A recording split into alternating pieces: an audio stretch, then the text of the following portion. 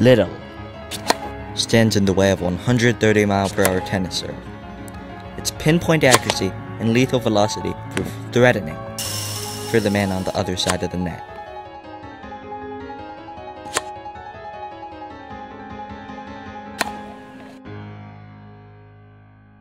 However, one extra factor comes into play when creating the perfect tennis serve, and that's spin. Spin plays a huge role in tennis, as it could alter the path of a ball during flight. And the way spin affects a ball's path is called the Magnus effect. Before we dive too deep into the effect, let's talk about the law causing it Bernoulli's law of fluid dynamics.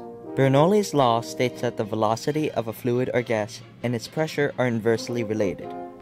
Simply put, the faster a fluid or gas goes, the lower its pressure will be. Wait, that doesn't make sense. I feel less push with the slower stream, but more push with the faster stream, which means the faster stream must have higher pressure, right? Well, no actually.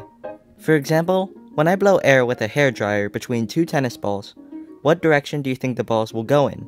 Outward or inward? Well, the results are probably not what you expected. The two balls are actually pushed inwards.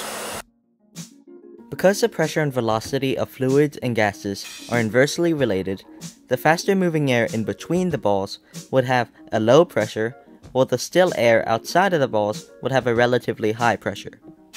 The high pressure pushes the balls inwards, which is why they move accordingly. So, what does this have to do with the Magnus effect? Well, Bernoulli's law is actually responsible for it.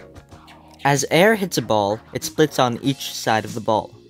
Due to the ball's spin, the air on one side will be dragged along the ball and accelerated, while the air on the other side would slow against the rotation of the ball. Because of Bernoulli's law, the faster moving air would create lower pressure, while the slower moving air would create higher pressure.